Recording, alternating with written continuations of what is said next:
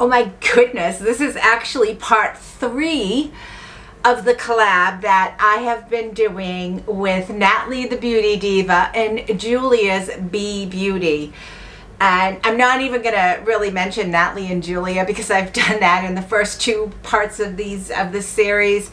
But this is a series that Nat does and Nathalie does and it is the best of. And so today it's going to be the best of drugstore.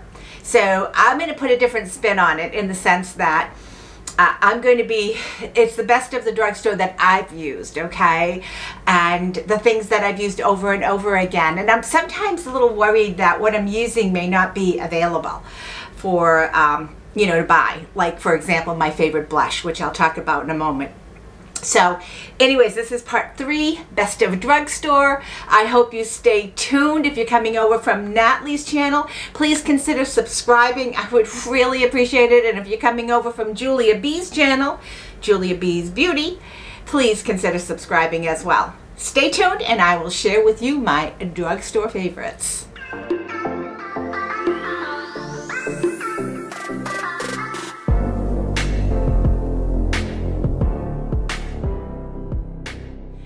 So first up all, if you're new to my channel, you might be wondering why my hair looks different this week than it did last week if you watch the second and the first two videos in this series.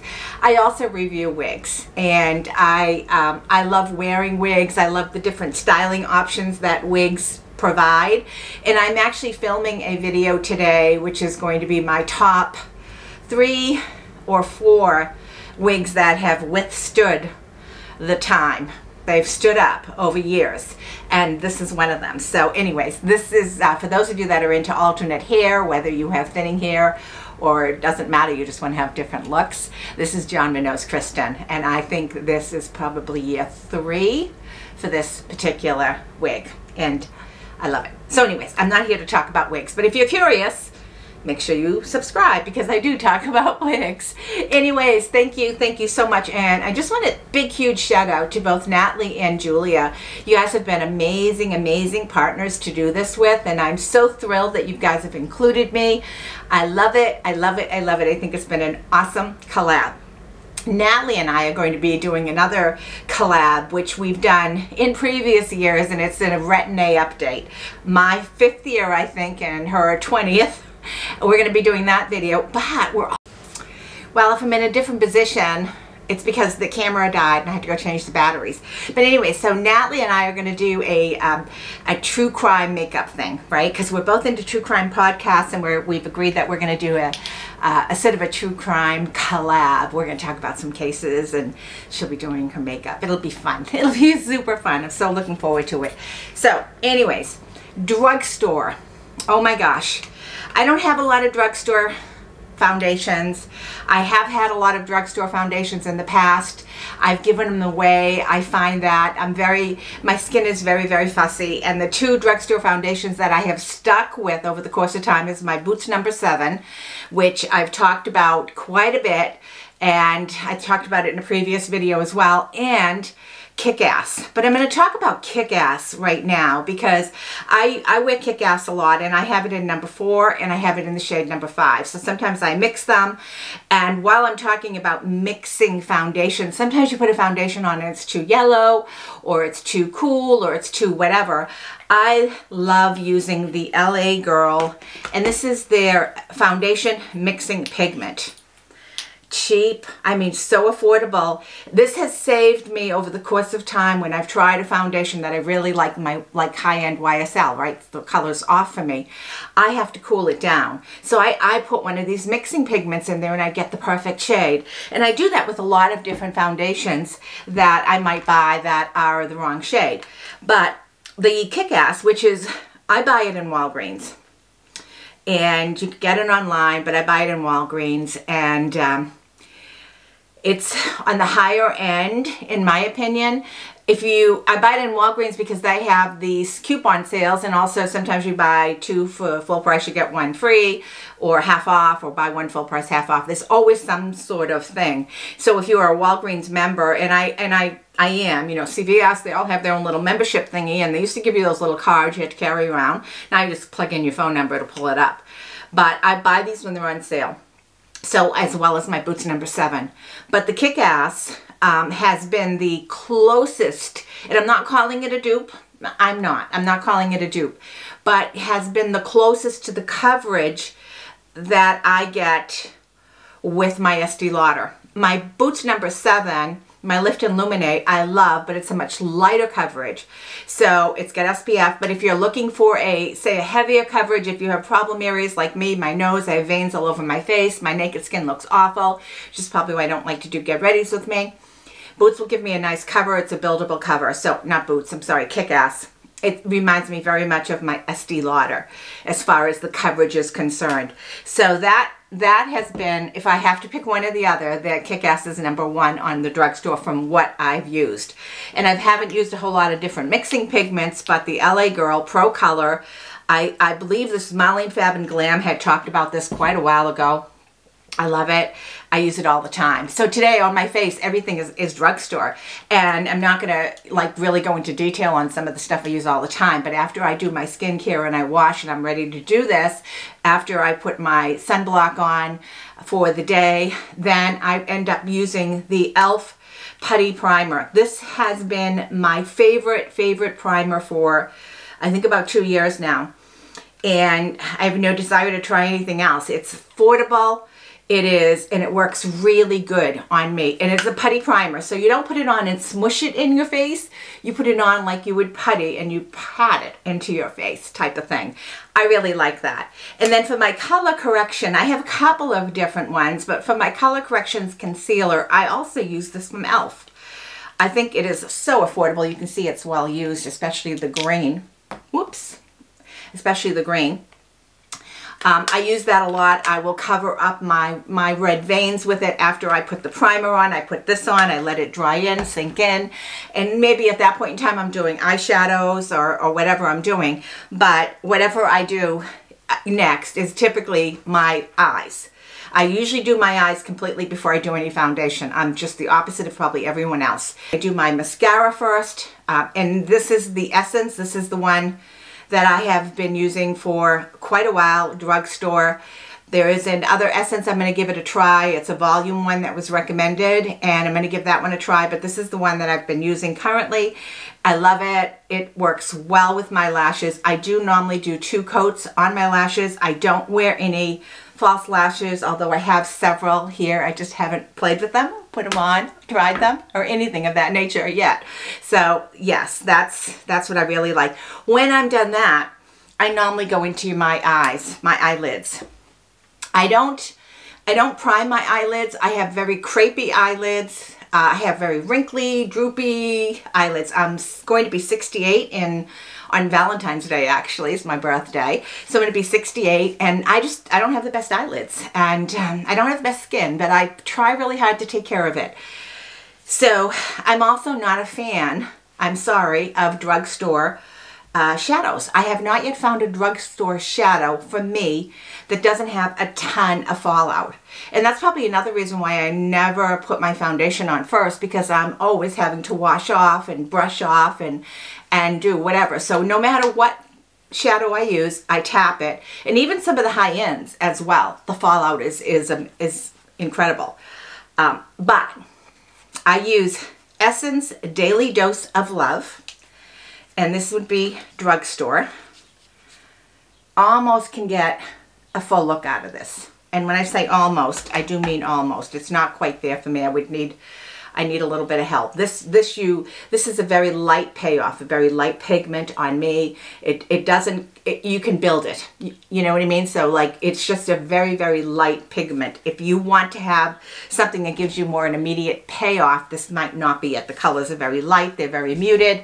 I really like them. Now I'm not too sure if Morphe is considered drugstore, but I can get a full look out of this Morphe palette.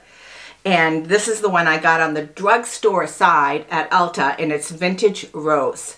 I think I've mentioned this one before. I really do like it a lot. I, I, I do. I think it's a really nice drugstore eyeshadow.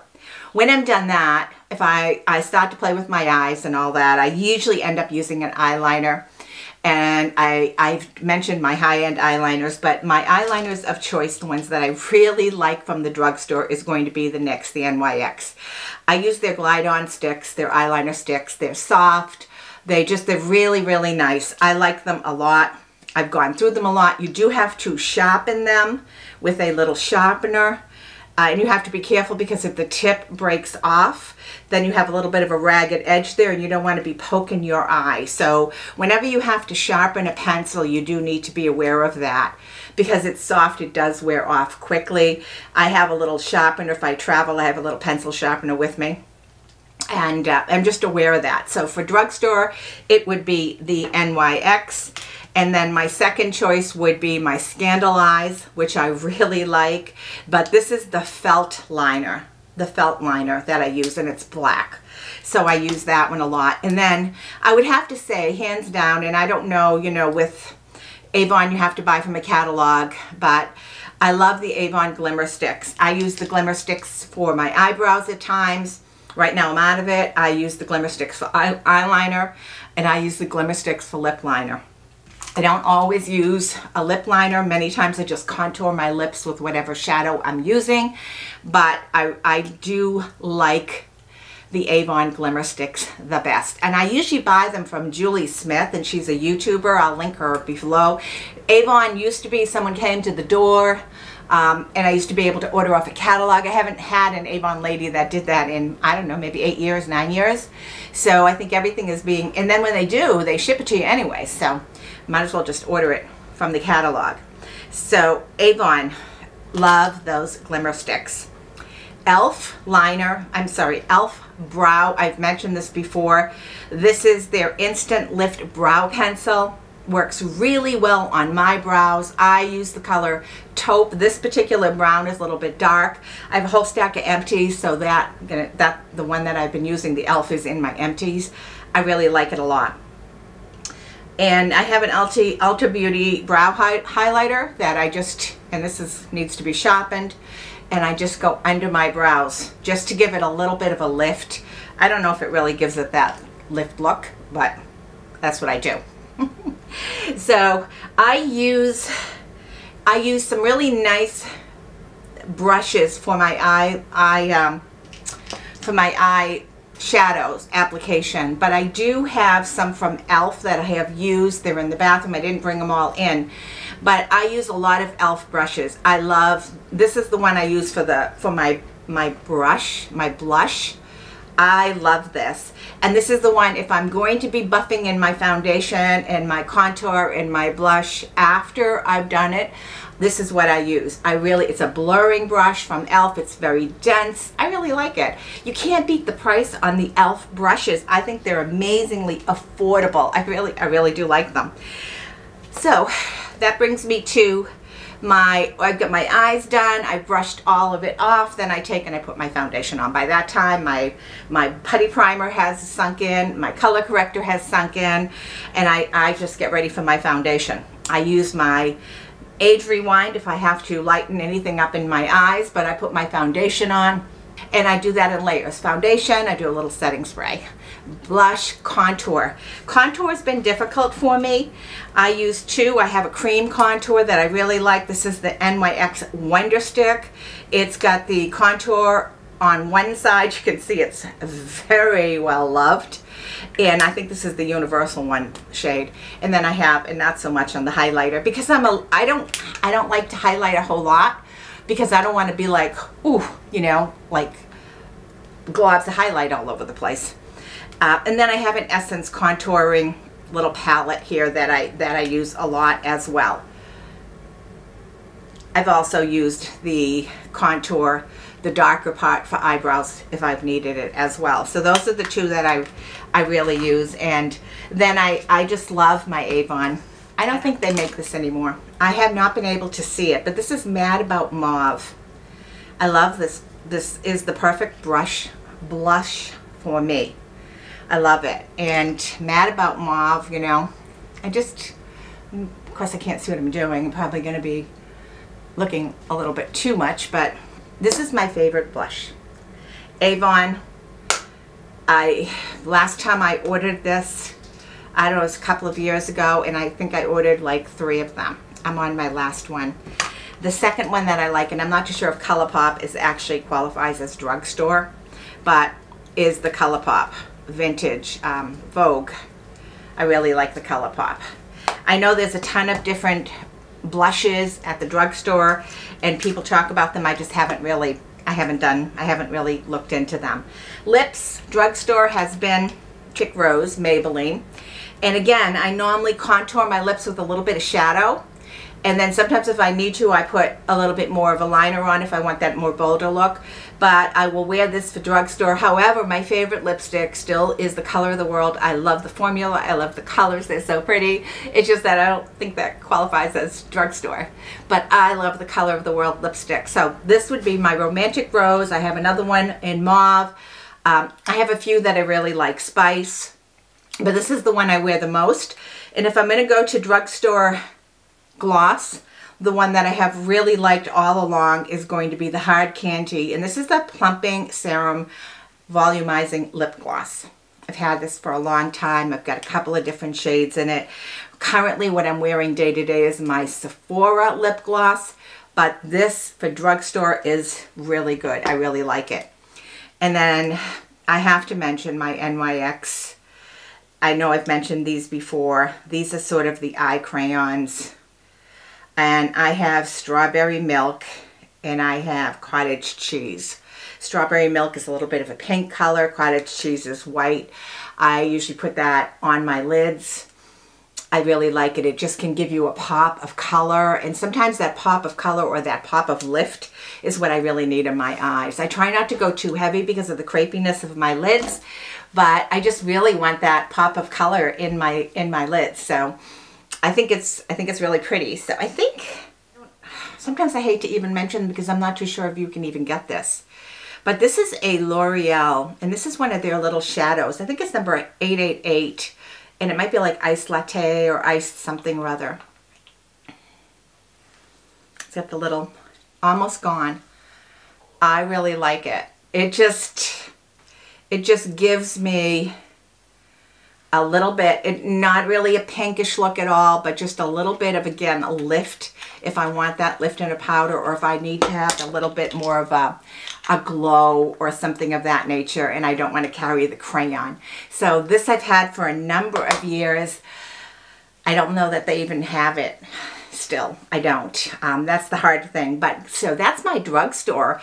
Th those are, so for me, the best of drugstore that I've been using. And again, I'm not, um, I don't use a whole lot. I don't play around with foundations that much. I, I'm more of a tried and true. If I find something I like, I'm going to, I'm going to use it over and over again. So, uh, you know, and then I go, oh, well, if I was going to go away, right, and I had very limited space, which would I bring? That's usually what tells the story for me. Which would I bring? So sometimes I'll go into my makeup bag and I'll see what I have in there because that is like, okay, this is stuff I wanted to bring. So anyways, I hope you found this interesting. And again, if you're new to my channel, please consider subscribing. I talk about makeup, I talk about skincare. I'm going to be 68 in February. I also share lifestyle. I am a, a, a vlogger by nature. I love to record things that happen in my life, although they are pretty boring at times. So when I have something to share, I do vlogs. I do wig reviews. Um, what else? I'm just pretty well, you know, a little bit of this, a little bit of that. And I'm a uh, true crime addict. Didn't sound good. But anyways, please consider subscribing. I would truly appreciate it. Leave me a comment below. I love engaging with you on my videos. And if you haven't been over to Nathalie's video or Julia's video, be sure to link them below so you can go check them out. Thank you all so much. Bye-bye.